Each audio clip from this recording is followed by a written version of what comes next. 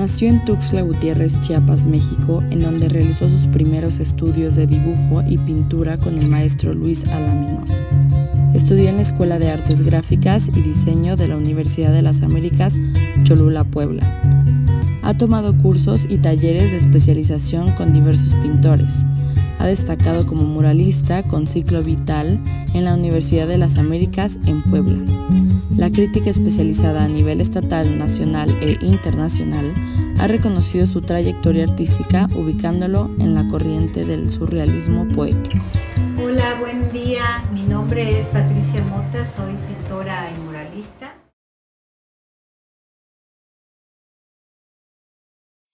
Y es una suma de, de, cuestiones que yo digo que en el arte y en la obra siempre es como una composición musical, ¿no? Está lo que es este, la idea, que es el concepto que ha privado siempre en todas las obras de arte, que es el amor, la muerte, la tristeza, la melancolía, etcétera, ¿no?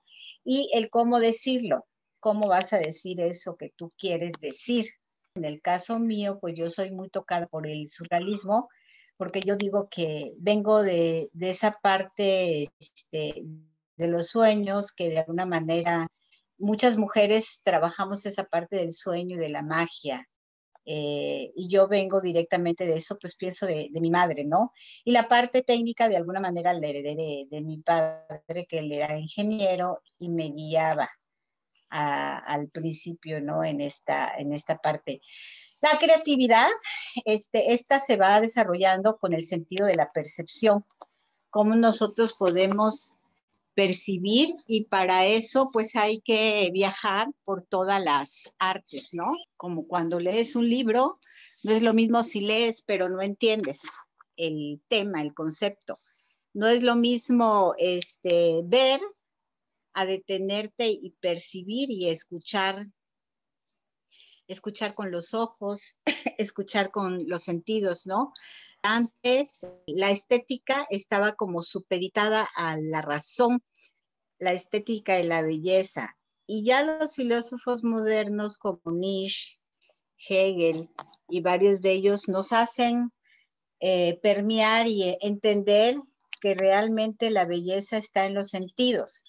Y entonces uno como, como ser eh, creativo, lo que haces es, exaltar los sentidos alterados, ¿no? Pero es como, ¿cómo te diré? Como avivar las antenas, las antenas que tenemos que son del alma, ¿no?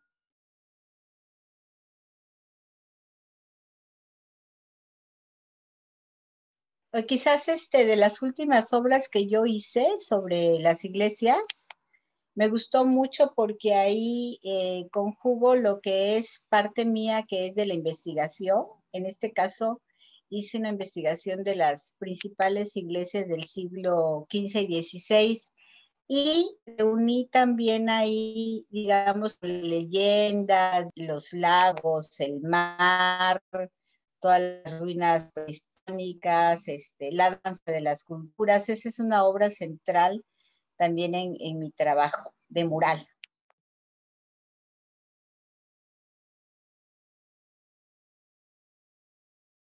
Me gusta mucho la, poesía, la música y este y siento que desde ahí estas, estas disciplinas artísticas ayudan a que yo pueda hacer como una comunión y poder expresar, pero realmente a mí muchas imágenes me vienen del sueño. Y he seguido mucho de, cerca pues a Leonora Carrington, a Remedios Varo, que ellas, ellas vienen a su vez de, del Bosco y de toda esta serie pintura, de pintura que es como muy clásica, porque yo siento que, eh, como decía Octavio Paz, uno tiene que ver y rever el pasado para poder hacer una recreación, porque generalmente pues eh, ya todo está como un poco hecho, pero la cuestión es cómo lo vas a decir y que lo digas con una voz propia. Entonces, yo siempre digo que, que todos nacemos con cierto talento, que ese lo tenemos que desarrollar, sea la disciplina que sea, en este desarrollo nos conlleva al estudio, desde luego, ¿no? A la formación. Y el tercer punto, pues es la pasión.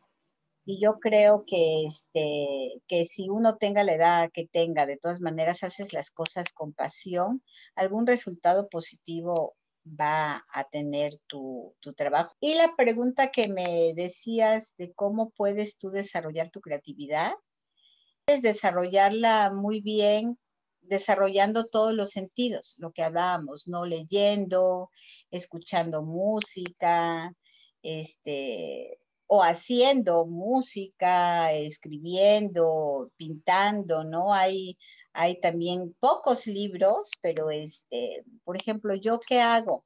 Cuando voy a trabajar, pues pongo como mi velita, mi incienso, la música adecuada. Si yo trabajo, por ejemplo, ahorita estoy haciendo una serie mucho sobre el cuerpo a través de los sentidos con movimiento, porque el cuerpo en movimiento pues es cambio y nosotros siempre estamos en constante cambio y búsqueda.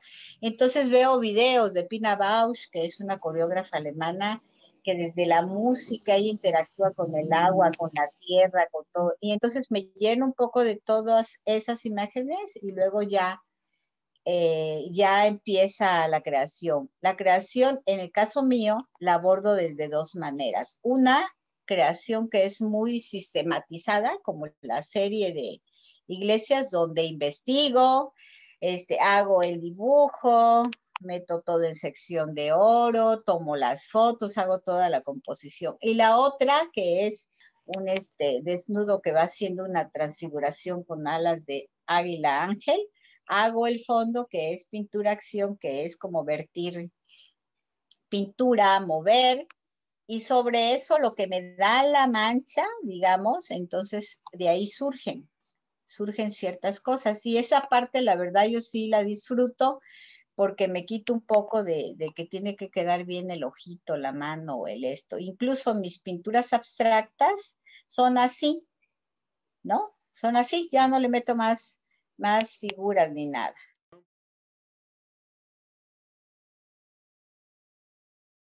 la vida misma, ¿no? Que si tú estás eh, leyendo, viendo ciertas cosas y todo, ¿no? Entonces ahí estás como eh, cocinando, ¿no? Como poniendo los ingredientes que te van a llevar a, hacer esa gran pasta, ¿no? Esa gran torta de, de, papa, si fuera una correlación con la cocina. Pero estos ingredientes para mí, pues es la palabra, eh, que estoy caminando, que estoy escuchando la música, ¿verdad? Y ciertas vivencias que tú tienes en, el momento que quieres este, vertir, ¿no?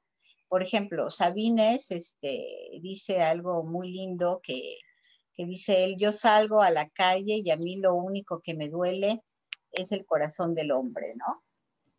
Entonces, este, hay ciertas imágenes que, que a uno, yo hice una serie que, cuando sucede lo del el levantamiento zapatista aquí en Chiapas, coincide con la muerte de mi padre, que pues es una muerte este, en un accidente. Y entonces, este, yo me quedo así como varada, ¿no? Como, como ese poema de Sabines que dice, te enterramos ayer, ayer te enterramos, te pusimos tierra ayer, y empieza a ser como todo un canto. Y yo pues no sabía qué hacer, me sentía como ese árbol eh, sin cobijos y sin hojas, desolado. Entonces mi esposo en ese tiempo llegó un día y me dijo después como de dos, tres meses, o sea, tú tienes que pintar, o sea, ya no te sirve este, el café, como diría Sabines, ya no me sirve el café, ni el cigarro, ni caminar, ni me sirve nada, ¿no? Entonces, este, hice unas lloronas que tomé de, una, de un periódico y entonces ahí salió mi duelo, ¿no? Esa pintura se llama El duelo. Y e hice una serie sobre la guerra de colgados, otro que, que recreé un grabado de Doré que dice no hay guerra justa e injusta, toda guerra es inútil. Y ahí me fui con una técnica muy de impasto donde el material o la materia prima también poniéndola así como este como la trabajaba Van Gogh casi del tubo o muy empastado eso a mí más el color fuerte me permitía volcar ahí toda esta entraña o maraña de emoción que yo tenía posteriormente ya de muchos años acá casi todo mi trabajo está más empatado con la poesía este, sublime. Es algo que yo siento desde niña, que es una necesidad que yo digo que es de, transmitir o de decir de alguna forma una postura que yo puedo tener ante, ante la vida, ¿no? Eh, entonces esta, esta postura eh, donde vienen tus creencias, este, tus búsquedas, lo que, como tú percibes al ser humano, lo dices ahí desde, desde este lenguaje artístico que pues lo mío viene siendo el surrealismo poético. Y mi arte, te digo que ha venido siendo una búsqueda principalmente surrealista. Esta parte que les comenté, sí parto desde el expresionismo, pero este, mi búsqueda es surrealista y yo siento que ya de unos años hacia acá tengo un lenguaje como muy, muy mío en la parte ya desde el concepto, que no es un surrealismo ortodoxo, como en el caso sería de, de Baro y, y sino que es un surrealismo más empatado con lo poético que yo creo que es, es Chiapas, ¿no? Es también mi niñez, es mi naturaleza y este, es esa búsqueda también ahora del cuerpo en movimiento, el cuerpo visto desde esa libertad de los sentidos, porque siempre desde niños nos enseñan al ver el cuerpo de una forma distinta, ¿no? Y como dice Jung, eh, eh, el cuerpo está pegado al alma, ¿no? Y el alma y, el cuerpo, pues es lo mismo, ¿no? Y entonces hay que de alguna manera este, conocerlo, tener un autoconocimiento para poder este, sentir, percibir y caminar, caminar este, bien con, con esto, ¿no?